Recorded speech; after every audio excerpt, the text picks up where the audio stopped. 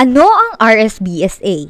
Ang Registry System for Basic Sector in Agriculture o RSBSA ay ang opisyal na talaan ng pamahalaan upang mabigyan ng pagkakakilanlan ang mga tunay na magsasaka at mangingisdang Pilipino.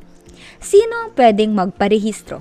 Lahat ng magsasaka at mangingisdang Pilipino na may edad 18 pataas ay maaaring magparehistro.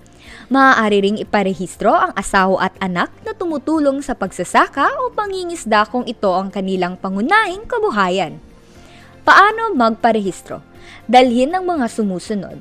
2x2 ID picture na kinunan di hihigit sa anim na buwan, orihinal na kopya na titulo ng lupa, kasunduan ng renta sa may-ari ng lupa o anumang legal na dokumentong patunay na pagmamay-ari ng lupa orihinal na government ID na alinman sa mga sumusunod.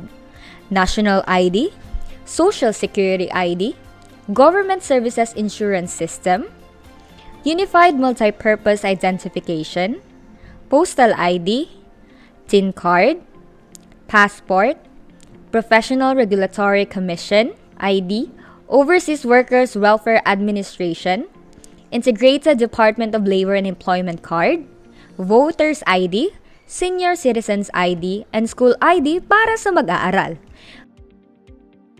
Para sa karagdagang impormasyon, maaaring makipag-ugnayan sa pinakamalapit na opisina ng Mafar Farm sa inyong lugar.